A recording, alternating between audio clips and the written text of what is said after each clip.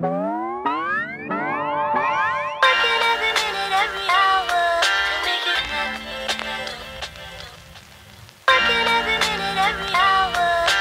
Hi guys, so this is to be a fall lookbook. Basically, a couple outfits that I would wear for fall weather and activities. So they're kind of a mix of casual to a little bit more dressy options. I also incorporate a lot of accessories and pieces that are very winter and fall oriented. So a lot of those things came from Kohl's and their new Madden Girl collection. So be sure to check that out at Kohl's.com and stores and all of that. So I hope you enjoy the video and keep watching. Hey guys, so for this outfit, I'm going for a kind of comfy chic vibe. Really comfy knit sweater paired up with some chic white skinny jeans. And then I decided to wear two different accessories. If you're going for more chic, a wide brimmed hat. And if you're going for more cozy, a knit beanie. So for this next outfit, I'm just wearing a bomber jacket, a crop knit sweater, and some joggers.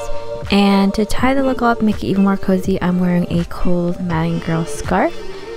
This look is a little bit more formal, but still very wearable for like a day out in town or around school, around fall times. So this jacket is from Kohl's and it adds a little bit of a dressier element, which I think is perfect for a night out in town in case you want to be warm without really having a lot of bulk on you.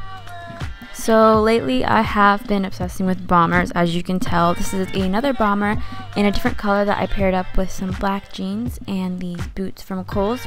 And I really really love these boots because they really add to the whole military street vibe I've been feeling lately. These are also perfect for if you live in an area that rains or snows because they're very durable. So this last look revolves a lot around cargo. I really like the look of some cargo joggers. And this look would be really great paired up with some really comfy sneakers or even the pair of boots in the last look. So I just added a bodysuit to kind of make it look sleek and a cargo jacket. So that is it for all the looks. Thank you so much for watching. Don't forget to comment, like, and subscribe. And have a wonderful day. Bye.